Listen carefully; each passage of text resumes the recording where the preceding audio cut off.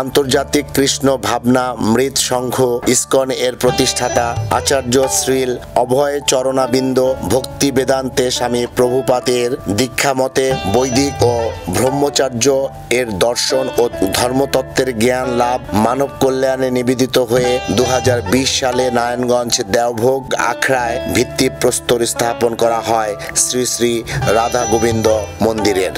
এই মন্দিরের ভেতরে সুসজ্জিত করা হয়েছে জগন্নাথ দেব মন্দির, রাধা গোবিন্দ প্রতিমা সহ কালের পরিক্রমায় আবির্ভূত বহু দীক্ষা গুরুদের মূর্তি এবং অবয়ব।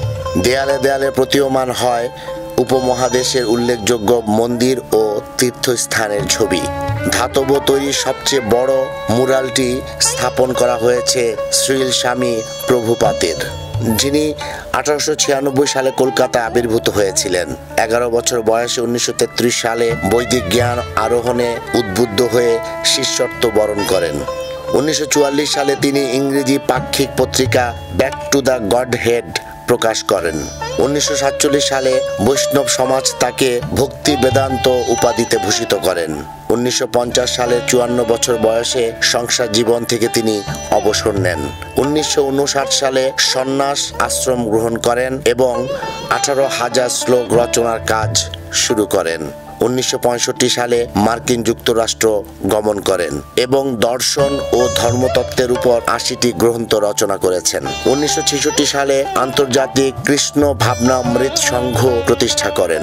উনিশশো বাহাত্তর সালে যুক্তরাষ্ট্রের ডালাস ও টেক্সাসে গুরুকুল বিদ্যালয় এবং উনিশশো পঁচাত্তর সালে ভারতের বৃন্দাবনে কৃষ্ণ বলরাম মন্দির প্রতিষ্ঠা করেন। উনিশশো সাতাত্তর সালে চোদ্দই নভেম্বর বৃন্দাবনে অপ্রকট লীলা নিবাস করেন। তার এই স্মৃতি ও দীক্ষাকে তবৃন্দের কাছে পৌঁছাতে দেবভোগে রাধা গোবিন্দ মন্দিরের মাধ্যমে বৈদিক ও ব্রহ্মচারী শিক্ষা দিচ্ছেন। এই মন্দিরে সপ্তাহে একদিন ধর্মীয় পাঠদান অব্যাহত রেখেছেন কর্তৃপক্ষ। প্রতিদিন ভক্তবৃন্দ আসেন মন্দিরে তাদের উপাসনা, ভক্তি ও শ্রদ্ধা নিবেদন করতে।